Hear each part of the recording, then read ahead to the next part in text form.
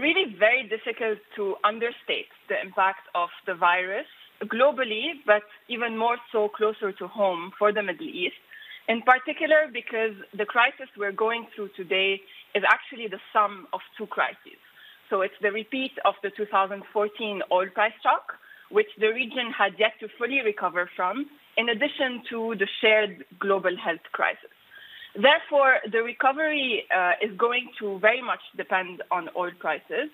Uh, and the, the, policy response equally in the region has to take into consideration that government revenue among oil exporting countries has indeed taken a hit.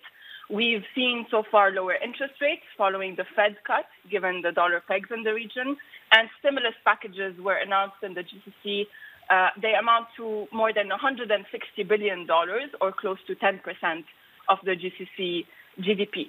But there's also been a range of consolidation measures to cut government spending and raise government revenue. Examples of these are Saudi's tripling of the VAT or Oman's cuts to the ministry's budgets.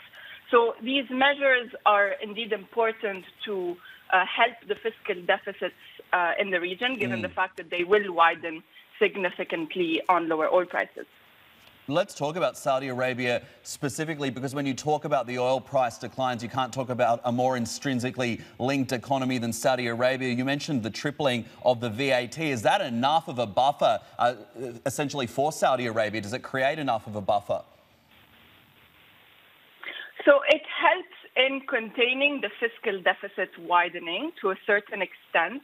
Uh, it's not enough for the fiscal deficit to uh, remain uh, based on the projections that we had previously when oil prices were at uh, around $60 at the beginning of the year. It will still mean that the fiscal deficit will widen, but it, it does indeed help Saudi manage its finances uh, this year because we do know that this level of uh, fiscal deficits and current account deficits across the GCC will mean that uh, most GCC countries will seek to tap markets, and we've already seen a number of GCC markets tap markets to raise debt externally. They'll also raise debt internally, and they'll have to also tap their savings uh, to, go- to cover these twin deficits. So these measures are really important to ensure that the savings uh, are tapped in a controlled manner in, in order to basically also stem the concerns that the markets are having also on the dollar pegs.